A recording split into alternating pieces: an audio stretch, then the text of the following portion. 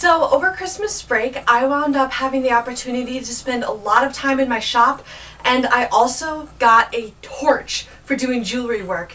It was my Christmas present from my parents and from myself and I'm just super excited about it. I wound up being able to spend a lot of time making some really cool things over my Christmas break and I just wanted to give you guys a little tour of my studio in my parents' garage. It's really awesome and I hope you enjoy it. Alright, so we're in the garage and this is the most exciting part. You guys have to come see my studio. This is where I've been spending like all of my time working on all the jewelry creations.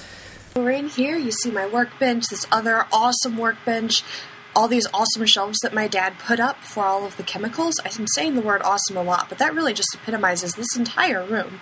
It's a little bit of a mess, but that was what happens when you're working in here for hours and hours on end. And I cleaned up in there a little bit. That's after the math of the mess. So this is, uh, I'm stamping individual letters for a bunch of book necklaces that I've been making. I'm actually recording this audio a couple months after I started putting together this video. I had lost the files on a hard drive. Anyway, here I am sawing metal, but I have a bandsaw for straight cuts now. I only use the hand saw for detailed things. Here, etching copper with a chemical that I made myself, well, mixed myself that's polishing a puzzle ring with a Dremel tool. This is a drill press. Drill presses are awesome. And this is the torch, which is absolutely amazing and I love it and it's so awesome. Oh my gosh. So, yeah. It's a uh, propane and oxygen torch. And here I am in the frigid garage, uh, trying to make a ring out. Uh, this ring actually began as just um, a wire of sterling silver.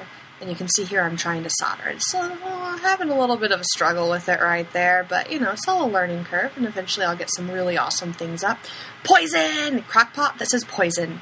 A necessity in every jeweler's studio. This is Sparex, a uh, not super terribly strong acid, but you know, you still don't want food to touch it. It cleans, uh, cleans metal. Here is the 3D printer. It's in my dad's office right now. I was printing out Deathly Hallow symbols to electroform, uh, 3D printing normally just uses plastic, which in and of itself is not going to make very sturdy jewelry. But I have a Deathly Hallow symbol from Harry Potter, which I printed on my dad's 3D printer. And I covered it in this copper conductive paint, and I wrapped it up in copper, and I'm going to do some electroforming. So this is a little vat of a special acid, and this is a rectifier, which sends an electric current through it. So we're going to stick this in the acid, and hook it up and make sure everything's adjusted in place. I have to not touch the acid, that'd be bad. Alright, so it's all ready and I'm going to turn this on. I'll be adjusting settings in a minute and leave it in for about an hour and it will coat it in copper. This is also how I can turn leaves and other items into copper. It's a really cool process.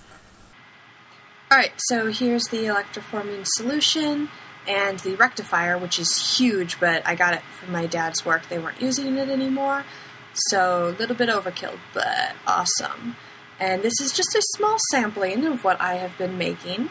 Uh, these leaves and other things turn copper. These, I have been showing you a shot of my neutralizer. Oh, and this is some stuff that I etched. Um, and here I'm trying to make my own jump rings. Well, I was succeeded in it. I'm also trying to do a faster way that uses the Dremel tool. It's not as successful. That's a lot of wire. I have a lot of wire. It's an amazing collection. And my sign that says, do not touch all the chemicals ever. I have more chemicals up there now. Baking soda, world's greatest neutralizer. Boxes and boxes of beads and chain and all my findings and whatnot.